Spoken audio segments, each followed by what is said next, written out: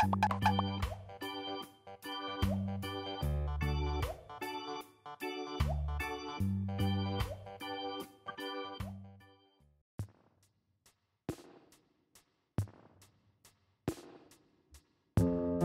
நரி வெள்ளை நரி துருவ நரி அல்லது பனி நரி என்று அழைக்கப்படுகிறது. இது வடக்கு அரைக்கோளத்தின் ஆர்க்டிக் பகுதிகளுக்கு சொந்தமான ஒரு சிறிய நரி. மற்றும் ஆர்க்டிக் டன்ட்ரா பயோம் முழுவதும் பொதுவானது. இது குளிர்ந்த சூழலில் வாழ்வதற்கு நன்கு பொருந்தக்கூடியது. மேலும் அதன் அடர்த்தியான சூடான ரோமங்களுக்கு மிகவும் பிரபலமானது. காடுகளில் பெரும்பாலான நரிகள் தங்கள் முதல் ஆண்டை கடக்காது.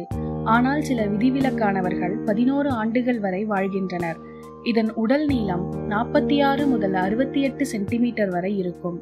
உடல் வெப்பத்திலிருந்து தப்பிப்பதை குறைக்க பொதுவாக வட்டமான உடல் வடிவத்துடன் இருக்கும். ஆர்டிக் நரி எலி வோல்ஸ் நீர்நாய் குட்டிகள் மீன் நீர்க்கோழி மற்றும் கடற்பறவைகள் போன்ற பல சிறிய உயிரினங்களை வேட்டையாடுகிறது.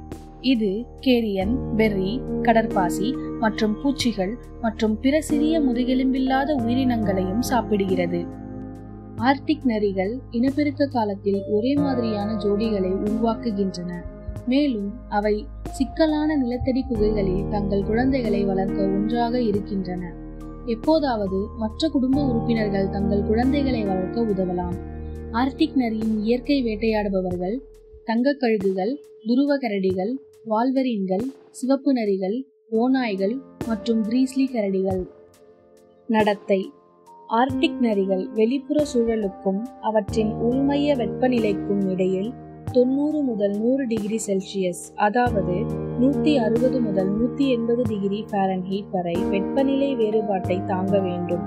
வெப்ப இழப்பை தடுக்க ஆர்டிக் நரி அதன் கால்களையும் தலையையும் அதன் உடலின் கீழும் வால் ரோமங்களின் பின்னால் இறுக்கமாக கட்டிக்கொண்டிருக்கும் இந்த நிலை நரிக்கு மிக சிறிய மேற்பரப்பு பகுதியை தொகுதி விகிதத்திற்கு அளிக்கிறது மற்றும் குறைந்த காப்பிடப்பட்ட பகுதிகளை பாதுகாக்கிறது. ஆர்டிக் நரிகளும் காற்றிலிருந்து வெளியேறி அவற்றின் அடர்த்திகளில் வசிப்பதன் மூலம் சூடாக இருக்கும். ஆர்டிக் நரிகள் ஆண்டு முழுவதும் சுறுசுறுப்பாக செயல்படுகின்றன. ஆனால் அவை செயலற்ற நிலையில் இல்லை என்றாலும் அவை லோக்கோமோட்டர் செயல்பாட்டை குறைப்பதன் மூலம் கொழுப்பை பாதுகாக்க முயற்சிக்கின்றன. அவைகள் இலையுதிர் காலத்தில் தங்கள் கொழுப்பு இருப்புகளை உருவாக்குகின்றன. சில நேரங்களில் அவற்றின் உடல் எடை ஐம்பது சதவீதத்திற்கும் அதிகமாக அதிகரிக்கிறது. இது குளிர்காலத்தில் அதிக காப்பு மற்றும் உணவு பற்றாக்குறையாக இருக்கும்போது ஆற்றல் மூலத்தை வழங்குகிறது. தழுவல்கள். ஆர்டிக் நரி கிரகத்தின் மிக விரைவான சிலவற்றில் வாழ்கிறது. ஆனால் வெப்பநிலை மைனஸ் எழுபது டிகிரி செல்சியஸ் அதாவது மைனஸ் தொன்னூற்றி நான்கு டிகிரி ஃபாரன்ஹீட்டாக குறையும் வரை அவை நடுங்க தொடங்குவதில்லை. குளிரில் உயிர் வாழ்வதற்கான அதன் தழுவல்களில் அதன் அடர்த்தியான பல அடுக்கு பெலேஜ் உள்ளது. இது சிறந்த காப்பு வழங்குகிறது. கூடுதலாக ஆர்டிக் நரிகளுக்கு மட்டுமே கால்பாதங்கள் ரோமங்களால் மூடப்பட்டிருக்கும். இரண்டு மரபணு ரீதியான வேறுபட்ட கோட் வண்ண உருவங்கள் உள்ளன. வெள்ளை மற்றும் நீலம். வெள்ளை மார்பில் பருவகால உருமறைப்பு உள்ளது. குளிர்காலத்தில் வெள்ளை மற்றும் பின்புறத்தில் பழுப்பு நிறமானது. கோடையில் அடிவயிற்றைச் சுற்றி வெளி சாம்பல் நிறத்தில் இருக்கும். நீல நிற உருவம் பெரும்பாலும் இருண்ட நீளம் பழுப்பு அல்லது சாம்பல் நிறமாக ஆண்டு முழுவதும் இருக்கும். வெள்ளை அலிலை விட நீல அலில் ஆதிக்கம் செலுத்துகிறது என்றாலும் ஆர்டிக் நரி மக்கள் தொகையில் தொன்னூற்றி ஒன்பது சதவீதம் வெள்ளை மார்க்காகும் எம்சி ஒன்னாருக்கு ஒத்த இரண்டு பிறழ்வுகள் நீல நிறத்தையும் பருவகால வண்ண மாற்றத்தின் பற்றாக்குறையையும் ஏற்படுத்துகின்றன.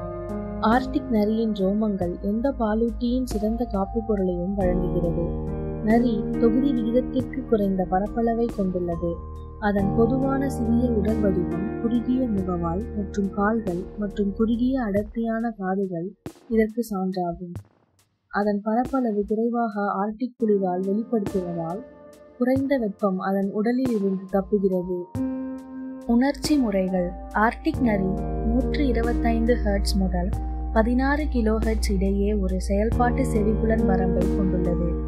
இது உணர்திறன் காற்றில் ஏறக்குறைய அறுபது டெசிபல்ஸ் மற்றும் சராசரி உச்ச உணர்திறன் இருபத்தி நாலு டெசிபல்ஸ் நாலு கிலோ ஒட்டுமொத்தமாக ஆர்டிக் நரிகள் செவிப்புலன் நாய் மற்றும் கிட் நரியை காட்டிலும் குறைவான உணர்திறன் கொண்டது. ஆர்டிக் நரி மற்றும் கிட் நரி ஆகியவை வீட்டு நாய் மற்றும் பிற மாமிச உணவுகளுடன் ஒப்பிடும்போது குறைந்த உயர் அதிர்வெண் வரம்பை கொண்டுள்ளன ஆர்டிக் நரி நான்கு முதல் ஐந்து அங்குலம் பனியின் கீழ் புதைந்து கொண்டிருக்கும் இரையை எளிதில் கேட்க முடியும். அது தனது இரையை கண்டுபிடித்தவுடன் அதன் இரையை பிடிக்க பனி வழியாக குதித்து குத்துகிறது. ஆர்டிக் நரிக்கு வாசனை மிகுந்த உணர்வுள்ளது. பத்து முதல் நாற்பது கிலோமீட்டர் வரை எங்கும் துருவ கரடிகளால் எஞ்சியிருக்கும் சடலங்களை அவை வாசம் செய்யலாம். துருவ கரடிகளை கண்காணிக்க அவைகள் தங்கள் வாசனை உணர்வை பயன்படுத்த வாய்ப்புள்ளது. கூடுதலாக ஆர்டிக் நரிகள் நாற்பத்தி ஆறு முதல் எழுபத்தி ஏழு சென்டிமீட்டர் பனியின் கீழ் உறைந்த எலிகளின் வாசனையை கண்டுபிடிக்க முடியும்.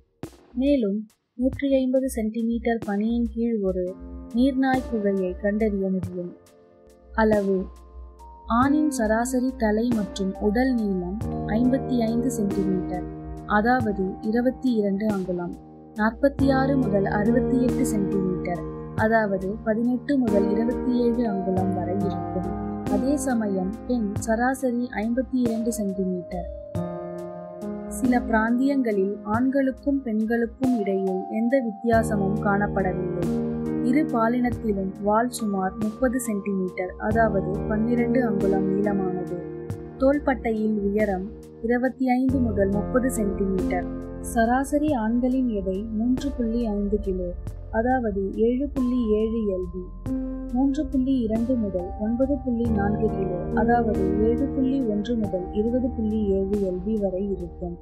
அதே சமயம் பெண்கள் சராசரியாக இரண்டு புள்ளி ஒன்பது கிலோ அதாவது ஆறு புள்ளி நான்கு எல்பி ஒன்று புள்ளி நான்கு முதல் மூன்று புள்ளி இரண்டு கிலோ அதாவது மூன்று புள்ளி ஒன்று முதல் ஏழு புள்ளி ஒன்று எல்பி வரை இருக்கும். பார்த்ததற்கு நன்றி.